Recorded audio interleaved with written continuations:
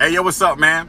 I just wanted to get on here. I'm so glad that my last uh, post about the woman leaving her her dude to be with another man, and then come to find out the man that she left him for is beating on her.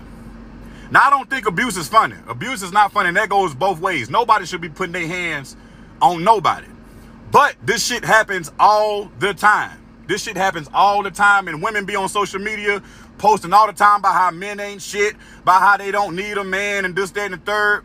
But a lot of y'all women will leave your dude to be with a man because he might have something that your current man probably don't have. And you can have a perfectly good man. You can have a perfectly good man, treat you right, don't beat on you, try to pay as many bills as he can, doing the best he can. But you might see another man that might have a better house, drive a better car, might have a little more money, and you will risk your whole relationship of this good man trying to be with this motherfucker.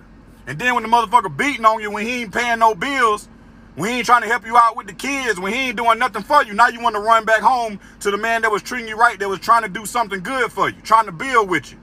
Nah, nah, nah, stay your sensitive ass off my page and all that shit. I don't want to hear that shit. Women do that shit all the time.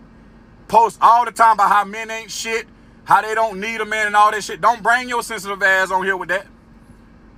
Cause I'm a married, I can I can use myself. I'm a married man. Been married 12 years. Been married 12 years. You know how many women come up to me and try to talk to me just because I might have muscles? Or just because I drive a nice car, blah, blah, blah, blah, and I tell them that I'm married and they'll still try to talk to me? I could be psycho as hell. Don't let muscles and money and all that shit fool you. If you got a good dude, stay with him. Help build him up just like how you want him to help build you up. Build together. But nah, Nah. Y'all want to be on social media shaking your ass, be on social media half naked, thinking that you're going to attract a good man. You ain't going to attract no good man.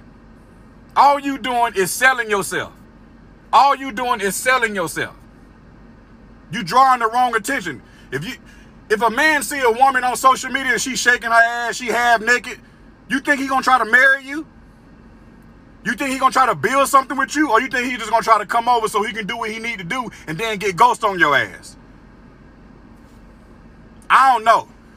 The shit hilarious to me. The shit funny. The shit funny. I've been, hey, hey, look, I've been married a long time. I've been married a long time. I don't have no exes. I ain't got no exes. Only exes I put is when I spell certain words.